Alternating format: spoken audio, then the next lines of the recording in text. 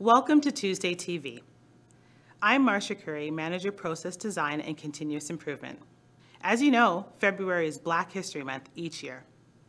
This year, Canada Post celebrated Black History Month by issuing stamps that honor two great Canadians who've had a profound impact on our country, Lincoln M. Alexander and Kay Livingstone. Now, let's take a look at the amazing achievements of Kay Livingstone. Black history is Canada's history. The first National Black Congress, what she did is she brought a place that was safe for Black people and women in particular to talk about issues about being Black and also issues about being a woman.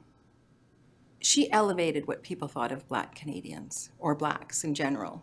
I remember my sister and I sitting at the kitchen table and there would be stacks of envelopes and stamps and a little bowl of water in front of us. Our little helper job was to seal the envelopes and put on the stamps. And I always remember there was a picture of the Queen on the stamps. I never would have believed or could have dreamed that one day I would be licking a stamp with a picture of my mom on it. I would like them to remember her as a pioneer and a visionary who pushed boundaries. She also lived by her words, onward and upward, lifting as we climb.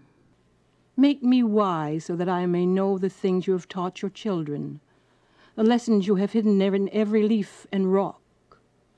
Make me strong so that not to be superior to my brothers, but to be able to fight my greatest enemy, myself.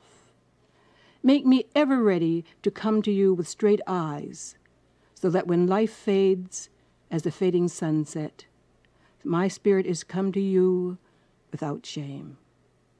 By Chief Dan George.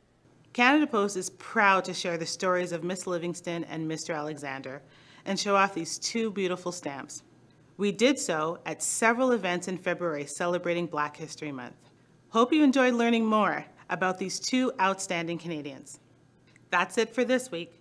Thanks for watching.